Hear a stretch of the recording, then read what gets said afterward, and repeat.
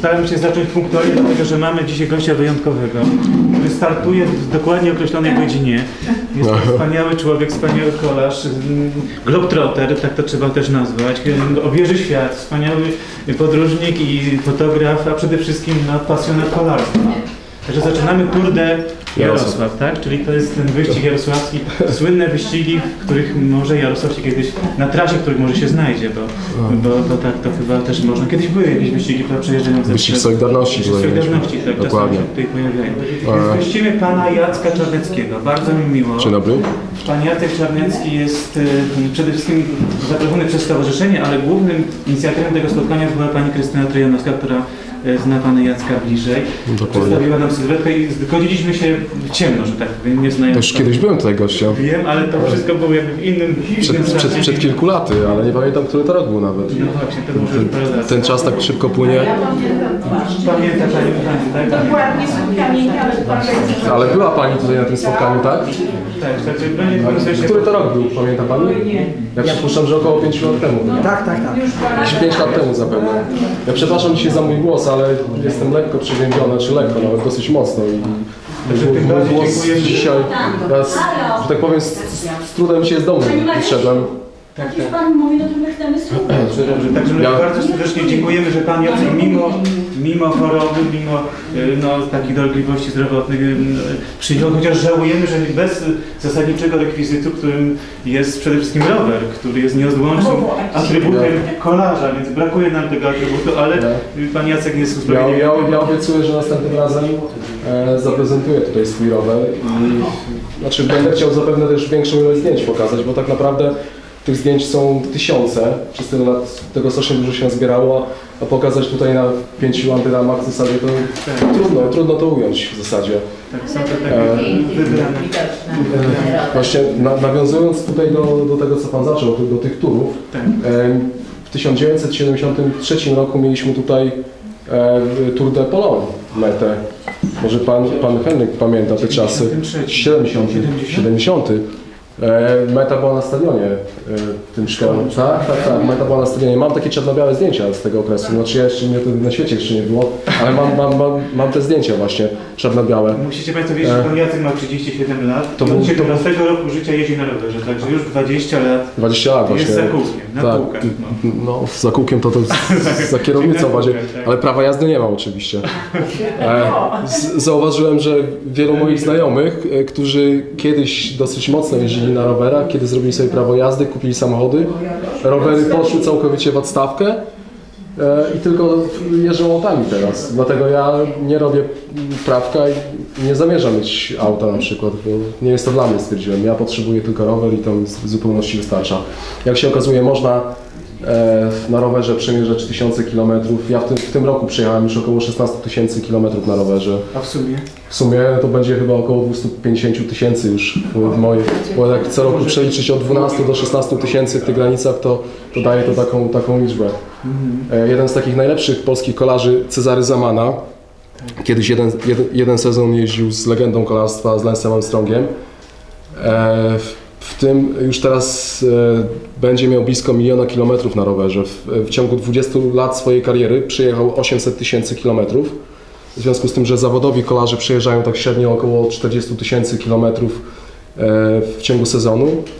W ciągu 20 lat przejechał e, około 800 tysięcy i później po zakończeniu kariery w tym, w tym momencie już się zbliża do miliona kilometrów przejechanych na rowerze. Szokująca liczba. Panie Miałem Spary- okazję właśnie w weekend y, spotkać się z Cezarem w Warszawie i też rozmawialiśmy na ten temat między innymi. Bardzo sympatyczny człowiek i zresztą był wielokrotnie w Jarosławiu z tego względu, że startował w wyścigu Solidarności. Mam też y, zdjęcia zamany tutaj z Jarosławia z rynku. Świetnie. Zacznijmy może od historii, bo myślę, że wszyscy pamiętamy takie nazwiska jak mm, Ryszard Szurkowski, Stanisław Szozda. No to były czasy no, no piękne pod tym względem przynajmniej. Stanisław Gazda. Tak, wyścig... Czesław Lang przede wszystkim. Czesław Lang, tak. Czesław jest ciągle taką żywą legendą. No to, to powiem tak, to nie moje czasy jeszcze. To nie moje czasy. Moje czasy to jeszcze... nasze czasy. E, Ale Cze- Czesław Lang to jest tak, taka sylwetka, która, którą chyba wszyscy znają z tego względu, że kiedyś y, świetny kolarz, pierwszy taki zawodowiec, który jeździł w, we Włoszech, E, Później Lecha Piaseckiego tam, że tak powiem, zabrał do, do siebie, jeżdżąc we Włoszech. Ale ciągle jest w tym temacie w związku z tym, że organizuje Tour de Pologne i jest dyrektorem Tour de Pologne. I świetnie przez te swoje kontakty, które ma we Włoszech, we Francji, udało mu się ten wyścig e, z tego wyścigu zrobić e, podobny wyścig jak, jak Tour de France i, Giro d'Italia. Znaczy na tym poziomie, jeśli chodzi o organizację, ale jeśli chodzi o kibiców, to tutaj nawet wcześniej z Panią rozmawialiśmy, e, to jednak e, w, jeśli chodzi o kibiców we, we Francji, we Włoszech, e, na, na te wyścigi przy, przyjeżdża znacznie więcej osób. Czasami to jest około 400 tysięcy osób na jednym etapie. Panie, Gdzie- Zacznijmy tylko od początku. I Będzie Pan jeszcze przy okazji tych zdjęć, bo taka jest chyba bardzo fajna formuła, że Pan będzie nawiązywał do tych konkretnych kadrów zdjęciowych. Ale chciałem zapytać, bo mm, rozmawiając wcześniej z Panem, dowiedziałem się, że właśnie dlatego nawiązałem do tego wyścigu pokoju, że to były jakby pierwsze Pana takie, e, takie inspiracje powiedzmy tym sportem, tak? Czy, Tak, czy, tak, tak. Proszę zacząć od takiej historii, skąd jak to się narodziło i jak to, jak to się stało, że Pan akurat zajął się kolarstwem, bo to No. wyjątkowa dyscyplina, wyjątkowo ciężka dyscyplina sportu. Zaczęło się pewnie od tych takich transmisji, które słuchałem w radiu. O, oczywiście przed laty. Znaczy w dalszym ciągu nie mam telewizji w domu, a wtedy to już tym bardziej nie było. Nie mam telewizji, bo telewizja zajmuje czas. Przepraszam tutaj pa- pana, który tam stoi za kamerą. No, pomijamy nasze, nasze produkcje, pomijamy. Dokładnie. To jest fot, fotoreportaż, jeszcze wchodzi w ten, e, w ramach, nie? E, naszych zainteresowań. Tak, wtedy nie było telewizji, więc zawsze siedziało się gdzieś tam przy radiu. Radio ciągle jest moim takim, taką pasją. Takim towarzyszem E, tak? tak, dokładnie. I słuchałem tych transmisji z, z, tego, z tego wyścigu. I I tak tak pan sobie tak się, wyobrażał sobie siebie. Dokładnie, zaczynała tak, tak, tak. Projekcja tych wszystkich planów. no i jeździłem, później zacząłem. Tutaj był, nie wiem czy Państwo kojarzycie, w Jarosławiu był taki wyścig. On się nazywał Wyścig e, Przyjaźni Polsko-Ukraińskiej. Pa, pan pamięta zapewne. To, to, był, to był właśnie. mm, To było ponad 20 lat temu chyba z tego co pamiętam. Ja mam takie proporczyki z tego wyścigu. To chyba e, gdzieś początek lat 90. Muszę, muszę spojrzeć na daty, które są na tych proporczykach, bo mam z tego wyścigu właśnie takie, takie pamiątkowe. A później był wyścig Solidarności jeszcze tutaj w tym mieście, no ale w 93 roku już, e, kiedy Czesław Lang zaczął organizować e, Tour de Pologne, już byłem na trasie. Mam zdjęcia właśnie z Czesławem Langiem jeszcze z, z tego wyścigu i, i kiedy spojrzę na te zdjęcia, kiedy popatrzy się jak, jak wyglądała ta scena, gdzie była dekoracja, to, to była taka stara przyczepa dosłownie, taka z taką plandeką zawieszoną. I to był Tour de Pologne w 93 roku. I, I jak teraz ja mam te zdjęcia, jak patrzę na te zdjęcia z 93 roku, a, a spojrzę na przykład na zdjęcia nawet sprzed 5-6 lat z Tour de Pologne, to jest taki przeskok ogromny. A proszę powiedzieć, co Pan sobie pomyśli, jako młody człowiek? Myśli, myśli, pomyślał Pan sobie, że chce być taki jak Szulkowski, taki jak Szozda, chce uprawiać ten sport. Co było jakimś takim zasadniczym elementem, który sprowokował Pana do, do sięgnięcia po tego typu? Znaczy mnie skłoniło do, do sięgnięcia po rower, że tak powiem i okazało się, że to jest świetny sposób na życie, na, na podróżowanie. E, ciężko było przed laty wyjechać z tego kraju na przykład i jedynym sposobem to było wsiąść na rower i ja na przykład wsiadłem na rower i pojechałem do Włoch na rowerze, gdzie nie miałem, Z dnia na dzień bez... ja po prostu nie mając praktycznie ża- żadnego kapitału, odżywiając się tym, co znalazłem gdzieś tam na polach, czyli jakąś papryką, jakimiś jabłkami, dokładnie, bo jestem, jestem weganem, jestem weganem, więc y, wystarczyło mi to jedzenie.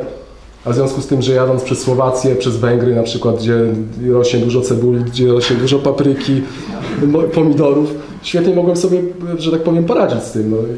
I, ta, I tak to było trochę szaleństwo, że tak powiem. No właśnie, miałem to powiedzieć, że to jest rzeczywiście na granicy z jakimś... e, No tak, Ale tego dobrym tego słowa znaczeniu szaleństwa. Szaleństwo, ale, ale to był jedyny jest- sposób na to, żeby po prostu gdzieś wyjechać. Żeby się wyrwać stamtąd, tak? Się- Żeby się wyrwać, żeby gdzieś wyjechać. No, I co, wtedy Pan zobaczył inny świat, tak? Tak. Włochy, no dokładnie.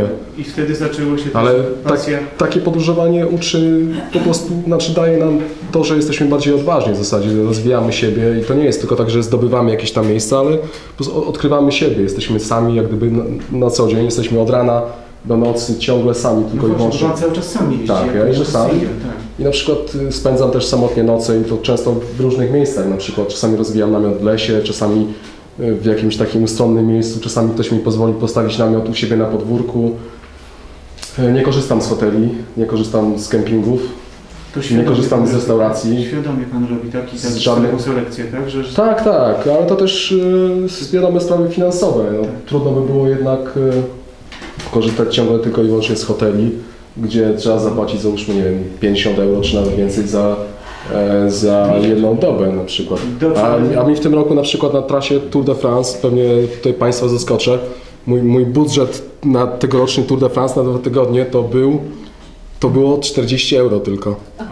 40 euro na dwa tygodnie i, i poradziłem sobie z taką kwotą. Przy 400 euro na, na dwa tygodnie. Za, zamierzałem mieć 50 euro, euro, ale nie udało się, a 40 euro wystarczyło na dwa tygodnie i, i bez problemu.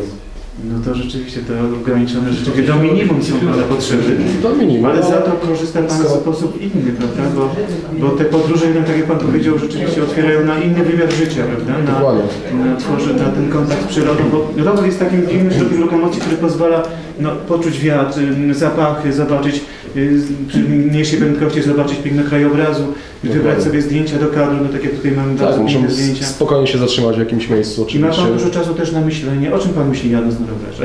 O czym myślę? Znaczy, kiedy jadę na rowerze, to tak, skupiam się pewnie na, na, na, na trasie. Y, Jak widzę jakieś fajne miejsca, to za, za, zatrzymuję się pewnie po to, by zrobić jakieś zdjęcie. No, Jeśli tak chodzi o takie przemyślenia, że tak powiem, filozoficzne, to może bardziej wieczorem, kiedy, kiedy, kiedy siedzę sam już, kiedy postawię namiot, to wtedy mogę się skupić jak najbardziej na sobie. Tak, to e, kiedy podróżuję na przykład sam, e, łatwiej mi jest nawiązać kontakt z ludźmi, bo na przykład e, kiedy jedzie się w jakiejś tam grupie, jest kilka osób, to jednak jak zauważyłem, spotykam takich ludzi na trasie, to oni skupiają się na swoim środowisku, czyli na przykład rozmawiają pomiędzy sobą, skupiają się tylko i wyłącznie na sobie. Ja z kolei jak jadę sam, to jestem bardziej otwarty na ludzi wtedy i, i ludzie chyba są bardziej na mnie otwarci wtedy.